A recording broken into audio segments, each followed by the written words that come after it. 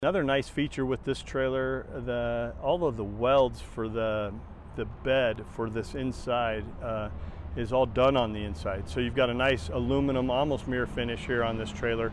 Um, up, up front, we've got all our connections. We've got everything for our remotes, for remote uh, tailgate, everything you need to do on this truck you can do remotely from the cab, as well as your hydraulic fittings and your glad hands, of course. Um, Armor-Lite has uh, done a really nice job. Uh, as we go up top here, we've got the double tough uh, cable um, mesh tarp. Uh, so this is an electric mesh tarp, cable driven, uh, very smooth, very uh, confident operation. it's pretty foolproof. as we work our way down, Armor-Lite's done a nice job with LEDs. Working our way down the side, you can see we've got the Jost um, aluminum landing gear, uh, which is a nice combination with the full aluminum trailer.